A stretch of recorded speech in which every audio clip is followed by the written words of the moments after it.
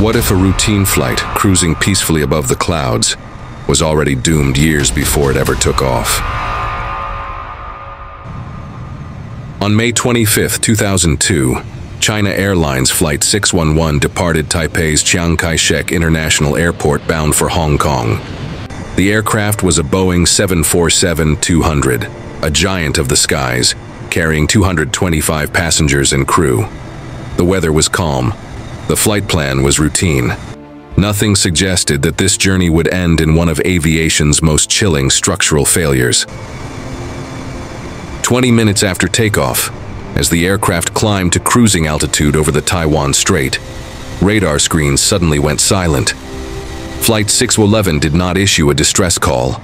It did not attempt an emergency descent. In less than seconds, the aircraft broke apart in midair, scattering debris across the sea near the Penghu Islands. All 225 people on board were killed instantly. The fatigue cracking. The investigation would uncover a haunting truth. 22 years earlier, the same aircraft had suffered a tail strike incident during landing. Instead of a full structural replacement, a temporary repair was improperly installed. Over decades, microscopic cracks slowly spread through the fuselage hidden beneath layers of metal and paint.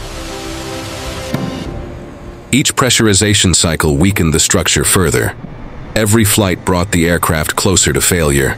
On that afternoon in 2002, the metal could no longer hold. At cruising altitude, the fuselage ruptured violently, tearing the plane apart faster than human reaction could respond.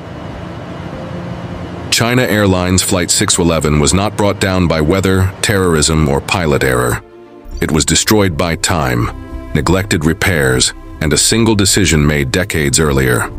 The tragedy reshaped maintenance oversight worldwide, reminding aviation authorities of a hard truth.